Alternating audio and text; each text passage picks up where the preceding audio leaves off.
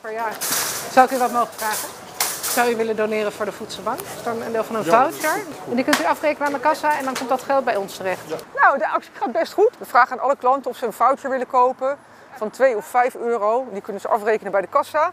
En aan het eind van de dag kopen wij dan voor het totaalbedrag producten voor de voedselbank. Het is eigenlijk een alternatief voor eh, andere jaren. Dan vragen we aan de klanten of ze een extra boodschap willen doen voor de voedselbank. En die kunnen ze dan eh, aan het eind van hun, eh, ja, als ze klaar zijn met boodschappen doen, bij ons inleveren. Maar in verband met corona moet het allemaal zo clean mogelijk. Dus uh, doen we het met deze vouchers. Puree ben hoogwaardig? Het aantal klanten is eigenlijk sinds de coronaperiode begon met ongeveer 20% gestegen. Dus dat is een hele forse stijging.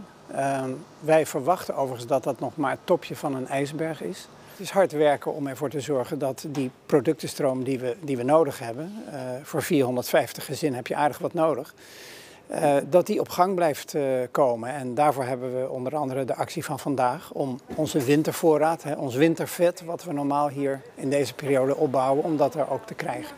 Zou jij willen doneren voor de voedselbank? Nee, dank je. Oké. Er zijn ook veel mensen die nee zeggen. Dat klopt, ja. Ja, ja dat is dan wel soms een beetje een domper. Maar wie de voedselbank toch alsnog wil steunen. Nou, in Leiden kunnen ze bijvoorbeeld of uh, zelf wat houdbare producten kopen en die bij ons komen afgeven. Of op onze website hebben we een donatieknop. Dan kun je gewoon heel makkelijk zelf alsnog wat geld overmaken aan de voedselbank. En uh, nou, dat wordt helemaal goed besteed. Dankjewel hoor.